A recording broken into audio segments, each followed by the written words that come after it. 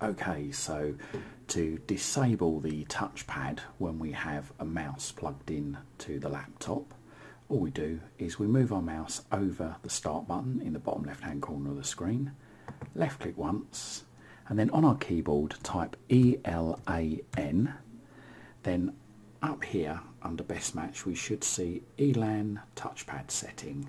Move your mouse over this and left click once. Then we get this box appear. Move your mouse over disable when external USB pointing device plugged in. And just move your mouse just to the box just to the left of it and then left click once so that a tick appears in it.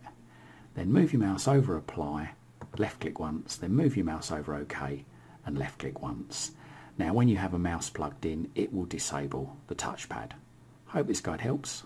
Thanks for watching don't forget to check out my other videos in my YouTube channel just google Chris Waite YouTube and don't forget to like and subscribe to my YouTube channel. Thank you for your support.